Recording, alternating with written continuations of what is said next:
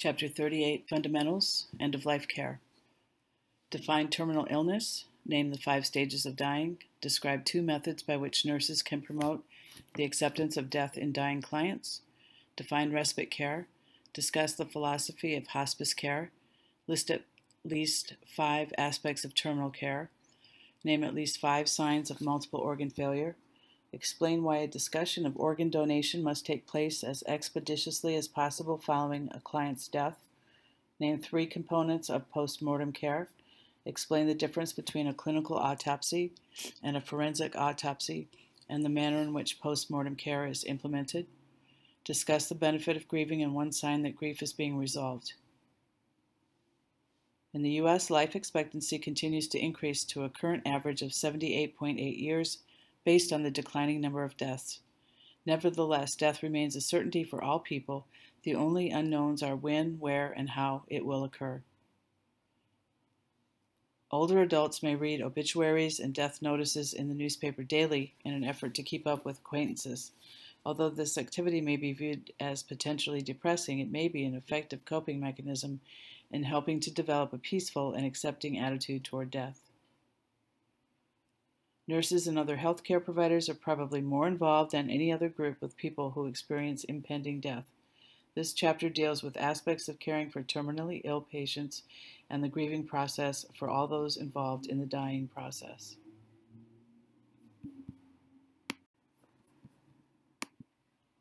A terminal illness means a condition from which recovery is beyond a reasonable expectation. Such a diagnosis is devastating news.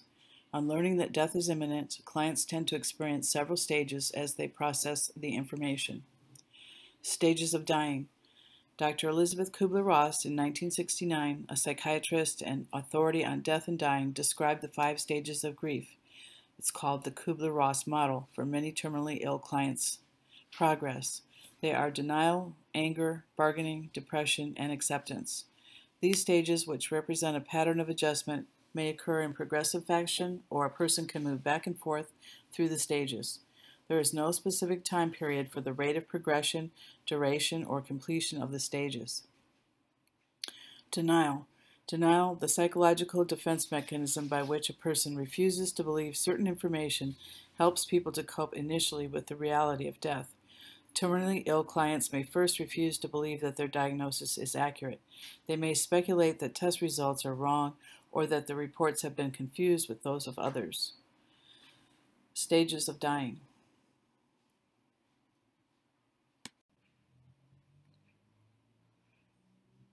Stages of Dying.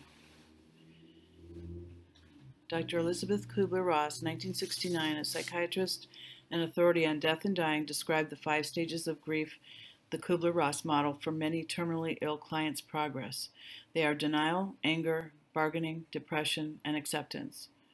These stages, which represent a pattern of adjustment, may occur in a progressive fashion or a person can move back and forth through the stages.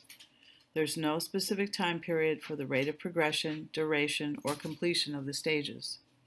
Denial, the psychological defense mechanism by which a person refuses to believe certain information, helps people to cope initially with the reality of death.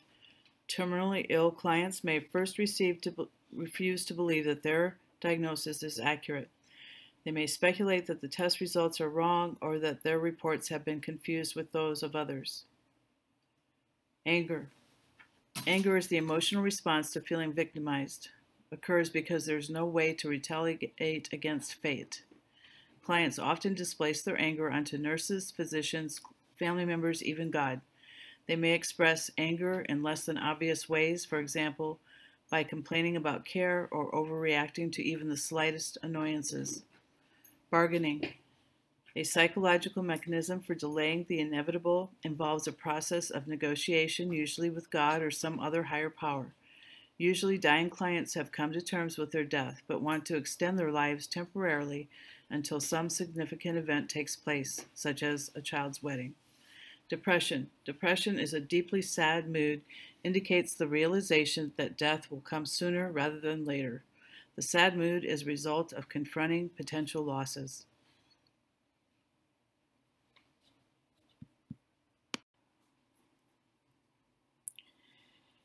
Kubler-Ross describes unfinished business in two ways. Literally, it refers to completing legal and financial matters to provide the best security for survivors. It also refers to addressing social and spiritual matters, such as saying goodbye to loved ones and making peace with God. It is as important for dying clients as it is for their families to say thank you for and I'm sorry for. After tying up all loose ends, dying clients feel prepared to die. Some even happily anticipate death, viewing it as a bridge to a better dimension. Promoting acceptance. Nurses can help clients to pass from one stage to another by prov providing emotional support and by supporting the client's choices concerning terminal care. Facilitating the client's directives helps to maintain the client's personal dignity and focus of control.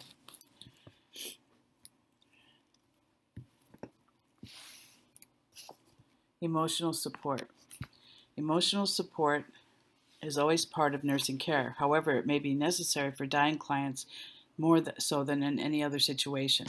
Sometimes the dying client simply wants an opportunity to express his or her feelings and verbally work through emotions.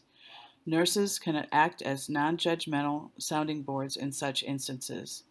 In addition to being available for conversation, nurses provide emotional support to dying clients by acknowledging them as unique and worthwhile. Dying with dignity means the process by which the nurse cares for dying patients with respect, no matter what their emotional, physical, or cognitive state. This process reflects the concepts stated in the Dying Patient's Bill of Rights.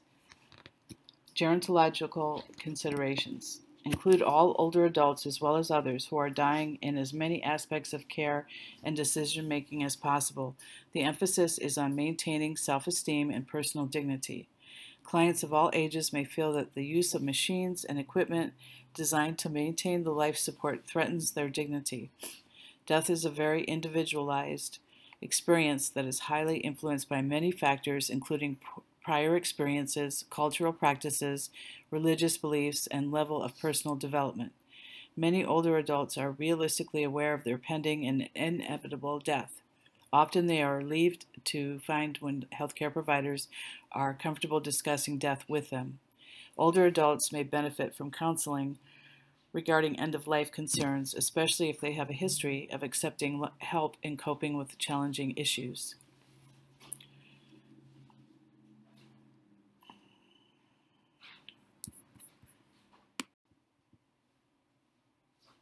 Is the following statement true or false? Acceptance occurs while clients deal with their losses and are completing unfinished business.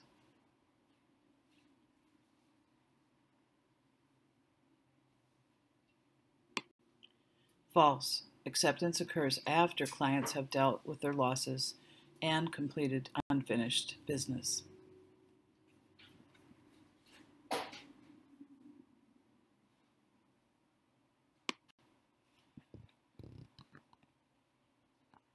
Promoting acceptance continued. Emotional support is always part of nursing care. However, it may be more necessary for dying clients than in any other situation. Sometimes the dying client simply wants an opportunity to express his or her feelings and verbally work through emotions. Nurses can act as non judgmental sounding boards in such instances. In addition to being available for conversation, nurses eh, provide emotional support to dying clients by acknowledging them as unique and worthwhile. Dying with dignity means the process by which the nurse cares for dying clients with respect, no matter what their emotional, physical, or cognitive state. This process reflects the concepts stated in the Dying Patient's Bill of Rights.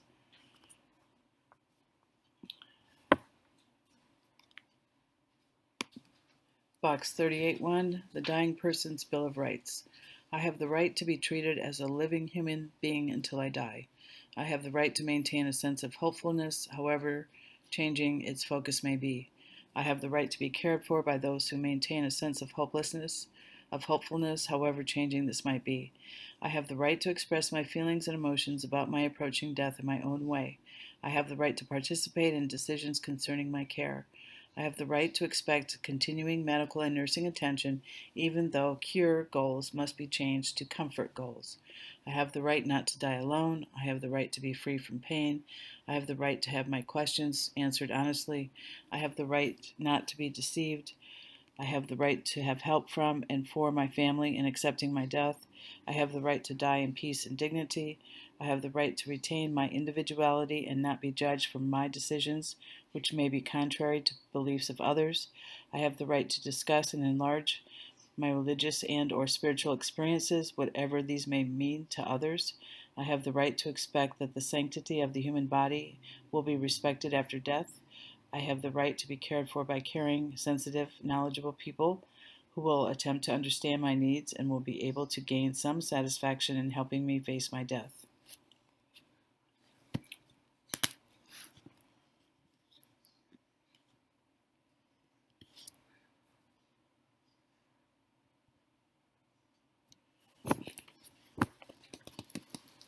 Emotional support is always part of nursing care, however, it may be more necessary for dying clients than in any other situation.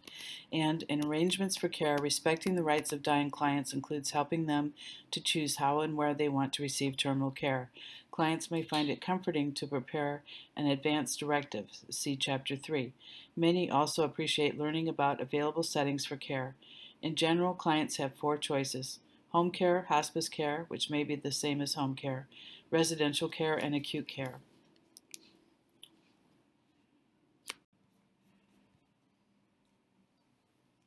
Home care. Many clients with a terminal illness remain at home. They may travel to and from a hospital or clinic for brief treatments, tests, and medical evaluations. Nurses may help to coordinate community services, secure home equipment, and arrange for home nursing visits. Because the major burden of home care often falls on a spouse, family member, or significant other, nurses who care for homebound clients periodically assess the toll this burden takes on the primary caregiver. The focus of support may shift back and forth from the client to the caregiver. Respite care is relief for the caregiver by a surrogate is important because it gives the caregiver an opportunity to enjoy brief periods away from home. Nurses can encourage the caregiver to identify relatives or friends who will volunteer relief time with the client. If no one is available, the short-term respite care can be arranged in an inpatient facility, hospital, or nursing home for up to five days each time. Inpatient respite care pays 95% of the Medicare approved amount. Nursing Guidelines 38.1 Helping Dying Clients Cope. Accept the client's behavior no matter what it is. Doing so demonstrates respect for all individuality. Provide opportunities for the client to express feelings freely. Giving such opportunities demonstrates an attention to meeting individual needs.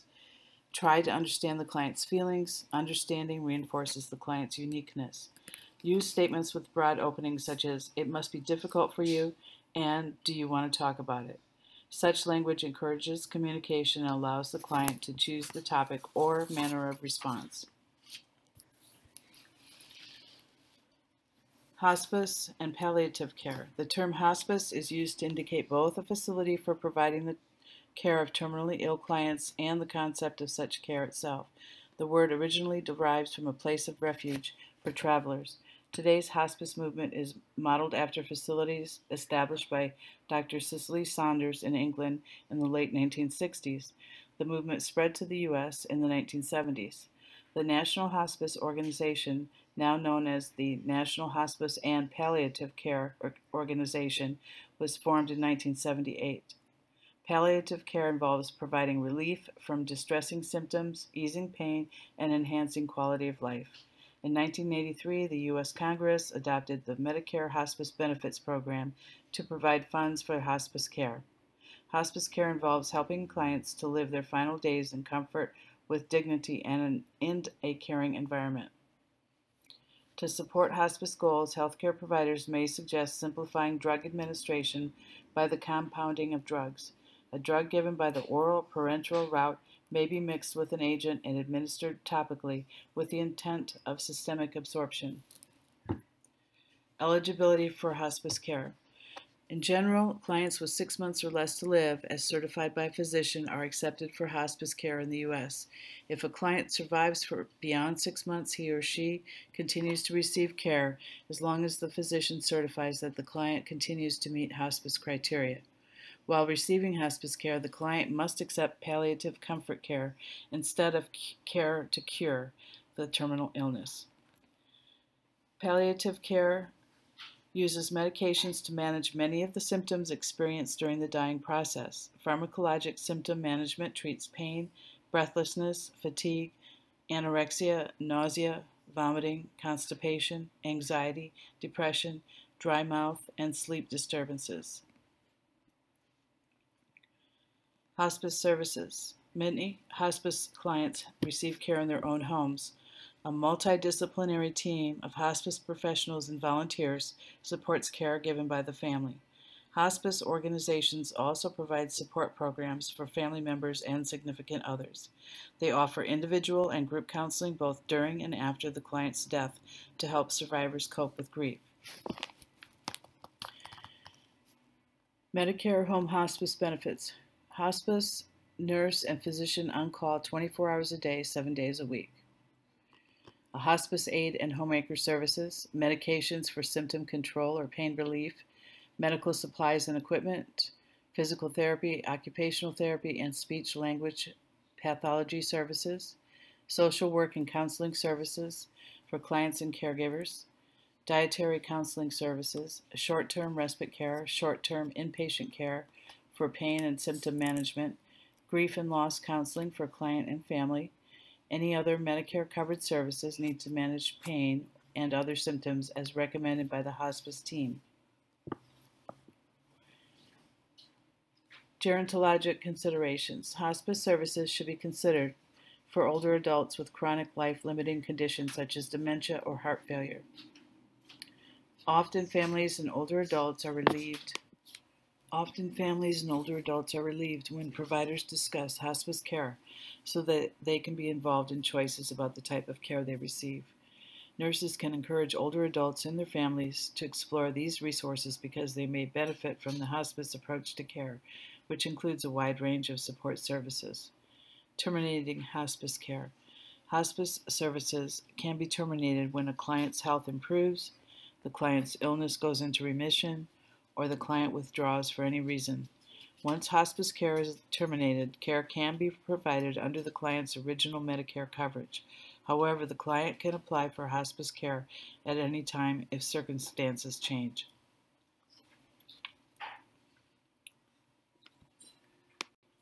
Is the following statement tr true or false? In home care, the focus of support may shift back and forth from the client to the caregiver.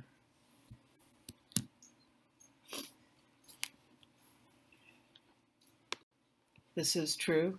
In home care, the focus of support may shift back and forth from the client to the caregiver.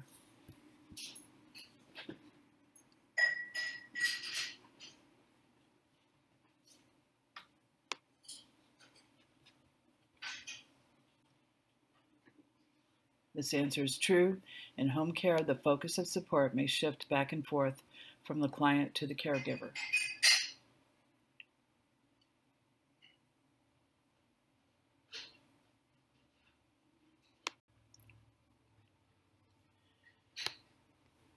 Arrangements for care. Many hospice clients receive care in their own homes. A multidisciplinary team of hospice professionals and volunteers support care given by the family. Hospice organizations can provide support programs for family members and significant others.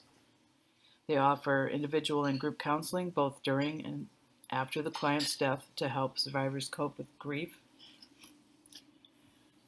Terminating hospice care can be terminated when a client's health improves, the client's illness goes into remission, or the client withdraws for any reason. Once hospice care is terminated, care can be provided under the client's original Medicare coverage. However, the client can apply for hospice care at any time if circumstances change.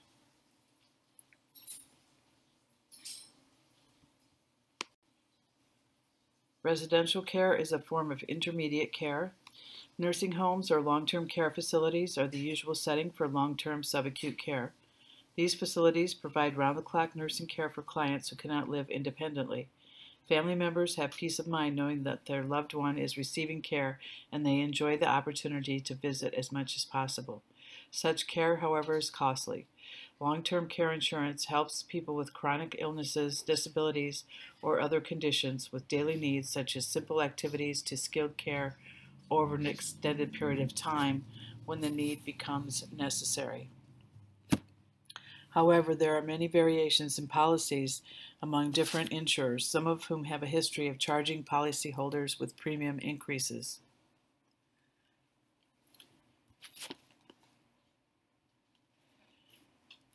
Acute care. A client needs acute care with sophisticated technology and labor-intensive treatment if his or her condition is unstable. This form of care is most expensive. Expenses for acute care provided in the hours, days, or weeks before a client's death can be significant. Most prefer to die at home, however, fewer than 25% actually do. Many in terminal stages of a life-threatening illness die in settings where the focus is on curing and, and prolonging life. There is a potential that clients who are hospitalized may be subjected to non-beneficial invasive treatments and medical treatments.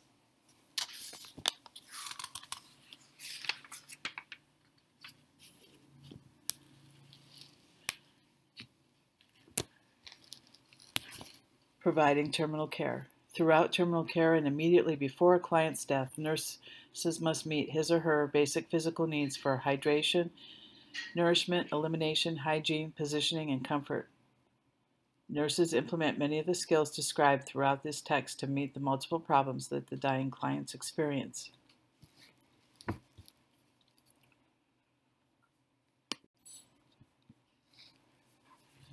Nurses have important roles in teaching older adults about advanced directives concerning their health care and identifying a person with a durable power of health care at the same time they prepare a will. See Chapter 3. These advanced directives must be reviewed and updated periodically and should be accessible to all those involved in care. Hydration. Hydration involves the maintenance of an adequate fluid volume. If the client's swallowing reflex remains intact, the nurse offers water, water and other beverages frequently. As swallowing becomes impaired, the client is at risk for aspiration, followed by pneumonia. Sucking is one of the last reflexes to disappear as death approaches.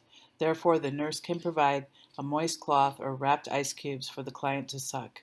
Some are of the opinion that avoiding parenteral fluids and allowing dehydration for someone who is actively dying may be beneficial.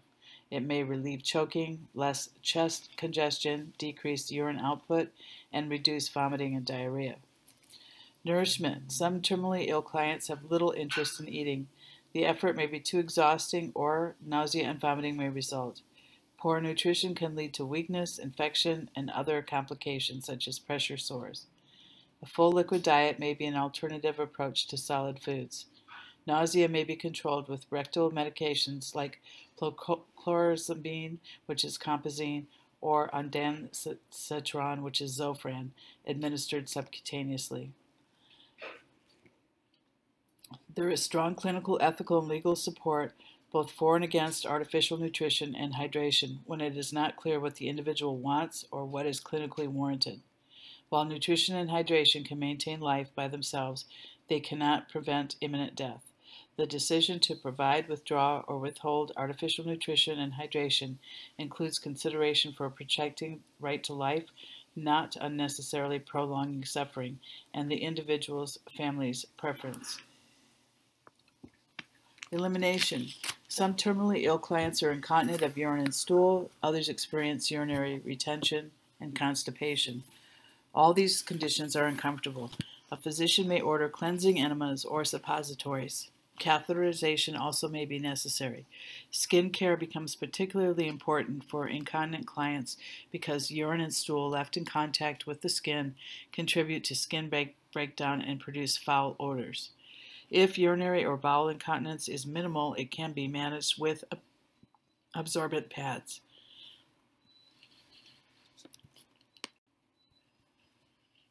Hygiene. The dignity of clients is largely related to their personal appearance. Therefore, nurses strive to keep clients clean, well groomed, and free of unpleasant odors. Frequent mouth care may be necessary. Oral suctioning helps to remove mucus and saliva that the client cannot swallow or expectorate. A lateral position keeps the mouth and throat free of accumulating secretions. The lips may need periodic lubrication because they become dried from mouth breathing or the administration of oxygen. A scopolamine transdermal patch, when ordered by the physician, may be applied and changed every 72 hours, or subcutaneous administration of Robinul may reduce oral secretions when the client is disturbed by coughing spells that interfere with sleep or worsen dyspnea. Positioning. The lateral position helps to prevent choking and aspiration. Nevertheless, the nurse may raise the client's head to improve breathing and change the client's position at least every two hours, as for any other client, to promote comfort and circulation. Breathlessness. For clients who experience shortness of breath, the nurse can place the client in a high Fowler's position and keep activity to a minimum. Oxygen per nasal cannula rather than a face mask is preferable so as not to avoid interfering with communication, taking oral foods and fluids, or causing distress.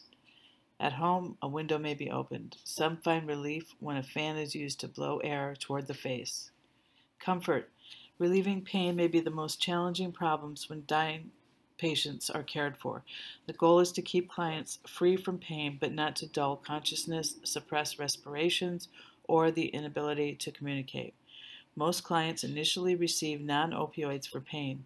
Later, the physician may change the drug to order a combination of non opioid and opioid analgesics or eventually a potent opioid. He or she may also change the route from oral to parenteral to transdermal. Analgesia may be more effective when the client receives the drug on a routine schedule. Giving pain medications regularly, such as every four hours, or by continuous release through a transdermal patch, rather than on an as-needed basis, maintains a consistent level of pain relief. The dosage will probably need to be increased because of drug tolerance. Fear of addiction should not interfere with efforts to relieve pain. Statistics indicate that the fear of addiction is greater than the reality. The frequency of addiction is previously in previously non-drug abusing clients is rare. Unfortunately, nurses and physicians often misinterpret increased requests for pain medication as evidence of addiction. In reality, an increased desire for pain medication may be the result of the development of drug tolerance or an increase in pain related to the disease progression. Clients develop tolerance to the pain relieving property of analgesic drugs. However, clients who are tolerant to opioids concomitantly develop resistance to respiratory depression, a common side effect of narcotic analgesics. Sedation generally precedes respiratory depression. As long as the client is alert, the potential for respiratory depression is minimum. Opioid antagonists can be given for severe respiratory depression should it develop, but the dosage must be reduced to avoid producing withdrawal symptoms and eliminating the desired analgesic state. Constipation may be more common among those using continuous opioid analgesia. Drugs such as Movantik, and Amitiza and others are used to manage opioid-induced constipation. Constipation that leads to the potential for obstruction is an uncomfortable side effect of opioid treatment in the severely ill. Typically, laxatives are used to prevent this condition. Relistor is the first drug of its kind which blocks the opioid binding specifically on gastrointestinal tract receptors. Clients need to be monitored for opioid withdrawal symptoms when taking this drug. People ages 45 to 64 have the highest rate of completing an act of suicide. Those 85 years and older have the second highest rate. SPAN in 2013 suggests this is due to the inability to recognize signs of depression in older adults. Antidepressant therapy can be successful in this population, yet assessment can be difficult when depressive symptoms are not recognized. Lack of interest or lacking the appearance of sadness are two reasons older adults are not diagnosed as depressed and recommended antidepressant treatment.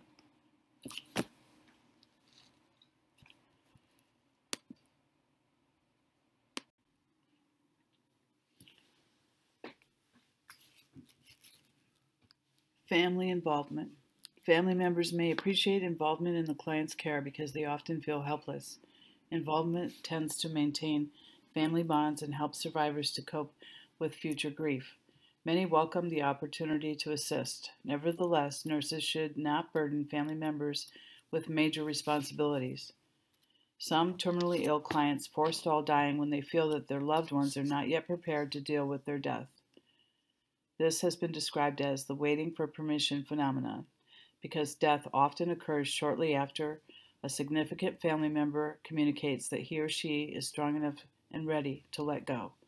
Nurses must support family members at this time because family members may feel as though they have given up and let down their loved one. Approaching death. As death nears, the client exhibits signs indicating a decrease, then ultimately a cessation of function. As these signs appear, the nurse informs the client's family that death is approaching. Multiple organ failure. The signs of approaching death are the result of multiple organ failure, a condition in which two or more organ systems gradually cease to function, which directly relates to the quality of cellular oxygenation. When the supply of oxygen begins to fall below levels required to sustain life, cells, followed by tissues and organs, begin to deteriorate. The cardiovascular, pulmonic, hepatic, and renal systems are most vulnerable to failure. As they cease to function, cells release their intracellular chemicals. Pre-existing hypoxia is first complicated by a localized rather than a generalized inflammatory response that causes the signs of multiple organ failure, heralding approaching death. See Table 38.2. This process may take place gradually over hours or days. Signs of multiple organ failure. Heart, hypotension, irregular weak and rapid pulse, cold, clammy, and mottled skin. Liver, internal bleeding, edema, jaundice, and impaired digestion, distension, anorexia, nausea, and vomiting. Lungs, dyspnea, and accumulation of fluid called the death rattle. Kidneys, oliguria and anuria. Pruritus, itching skin. Brain, fever, confusion and disorientation, hypoesthesia, which is reduced sensation, hyporeflexia, which is re reduced reflexes, stupor, and coma. Family notification. As the client shows signs of impending death, the nurse must make the family aware that the end is near. If the client is in a hospital or extended care facility, the nurse informs the physician first. The physician's is the physician is responsible for contacting the family and releasing that information. Sometimes the physician delays the news until he or she can talk with the family in person to avoid precipitating acts such as suicide or contributing to a traffic accident. Summoning the family of a client. client. Plan to notify the family in a timely manner. Check the client's medical record for the next of kin or kin or a responsible party. Identify yourself by name, title, and location. Ask for the family member by name. Speak in a calm and controlled voice. Use short sentences to provide small bits of information. Explain that the client's condition is deteriorating. Pause after giving the most important information. Give brief answers to questions. Emphasize the level of care that the client is receiving. Urge family members to come as soon as possible. Document the time, the person to whom you communicated the information, and the message.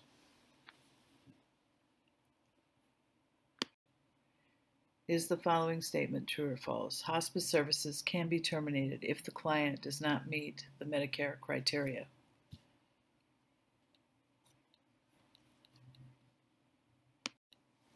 This is true.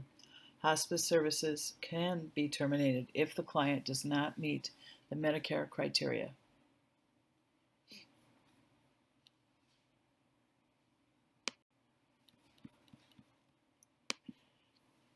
Discussing organ and tissue donation. Virtually anyone from the very young to older adults may be an organ donor. If the donor is younger than 18 years of age, he or she must sign a donor card along with the parents or legal guardian. Age requirements and organ acceptance are determined on an individual basis at the time of death and organ procurement. Some people have the foresight to communicate whether they are interested in organ donation, others do not. In other cases, or either case, if the dying or dead client meets the donation criteria, the possibility of harvesting organs is considered. Organ donation may or may not be discussed with the next of kin based on guidelines in the 2009 revision of the Uniform Anatomical Gift Act. If a dying or deceased person has a document identifying an intention to donate organs or has expressly refused organ donation, the next of kin or someone with the power of attorney for healthcare need not be involved. If no documentation of intent is available, consent for organ donation on behalf of the client can be sought. Finally, without a signed refusal, life support may not be withdrawn until the potential for organ donation is determined, even if doing so contradicts a person's advance directives, because life support that has the potential to save lives overrides the desire to withhold or withdraw life support. Involving the next of kin or the person with the power of attorney for health care concerning organ donation is generally a courtesy even when it is not absolutely required. This is done delicately by an organ procurement officer. This person is trained in techniques for sensitively requesting organ donations from family members grieving the death of a loved one. The healthcare agency selects the person who will solicit organ donations. Typically, the facility's transplant coordinator is the organ procurement officer. Solicitation for organ donation cannot be delayed. Some organs, such as heart and lungs, must be harvested within a few hours to ensure a successful transplant. In some cases, the client is kept on life support before removing organs. To protect the healthcare facility from any legal consequences, permission may be obtained in writing. Confirming death. Death is generally determined on the basis that breathing and circulation have ceased. In most cases, when these criteria are met, there is no question that the person is dead. Legally, a physician, a physician's assistant, or a medical examiner or a coroner is responsible for pronouncing the client dead. In 20 states, nurses are authorized to do so.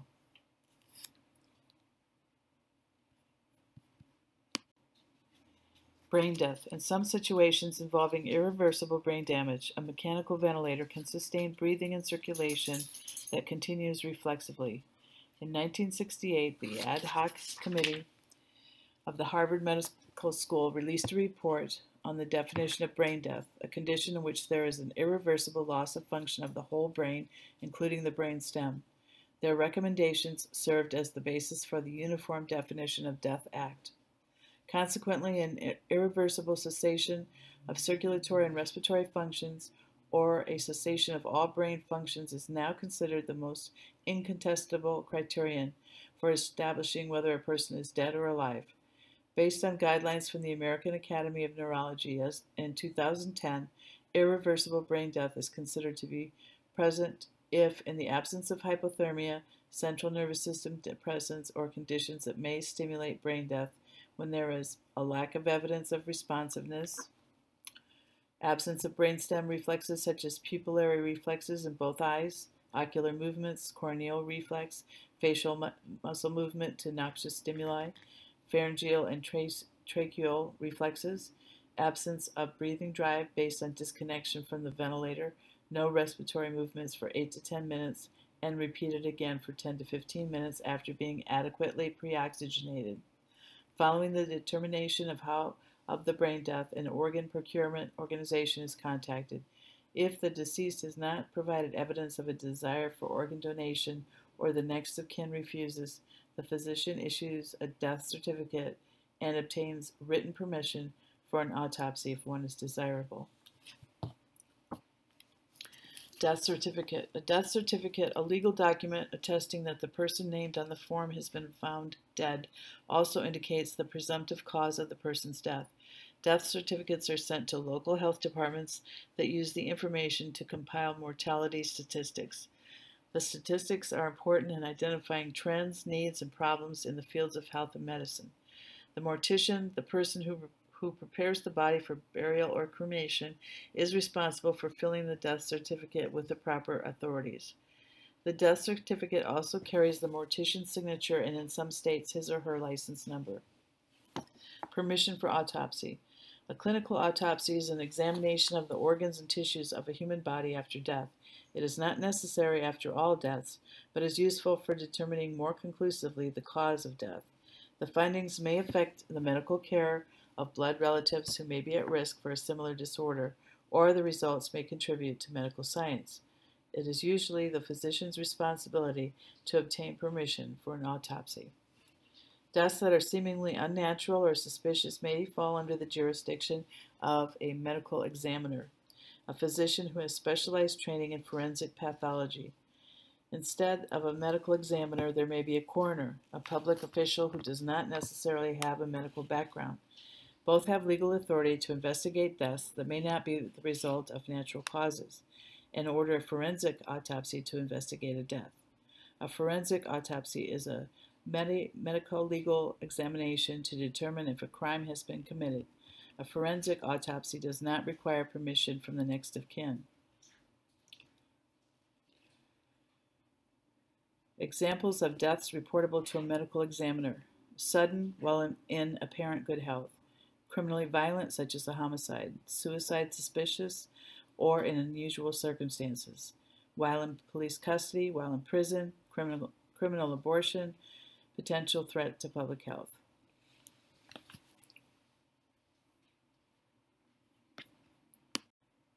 Performing postmortem care.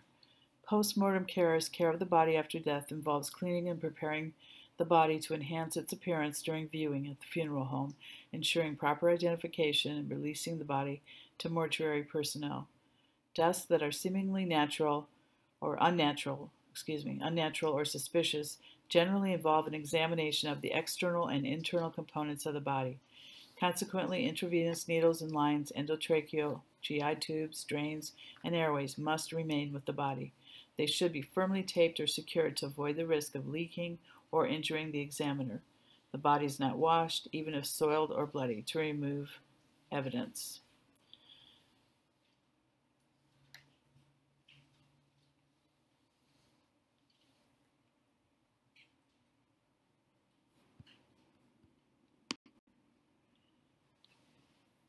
Clinical autopsy is an examination of the organs and tissues of a human body after death. It is not necessary after all deaths, but is useful for determining more conclusively the cause of death.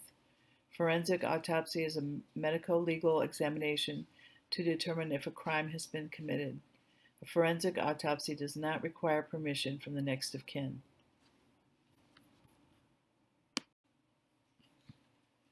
Grieving. Grieving means the process of feeling acute sorrow over a loss. It is a painful experience, but it helps survivors to resolve the loss. Some people experience anticipatory grieving, or grieving that begins after the loss occurs. The longer people have to anticipate a loss, the sooner they eventually resolve it. Grief work, activities involved in grieving, includes participating in the burial rituals common to a culture. Although such rituals differ, the grief response, the psychological and physical phenomena, experienced by those grieving is universal.